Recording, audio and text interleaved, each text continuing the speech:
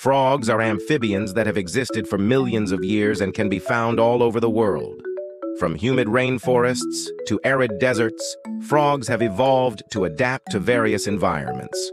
Frogs are known for their ability to leap great distances and their distinctive croaking sounds. They have soft skin that allows them to absorb oxygen from both air and water. Additionally, frogs are important indicator species, signaling changes in the environment. Beyond their remarkable adaptability, frogs have a unique life cycle.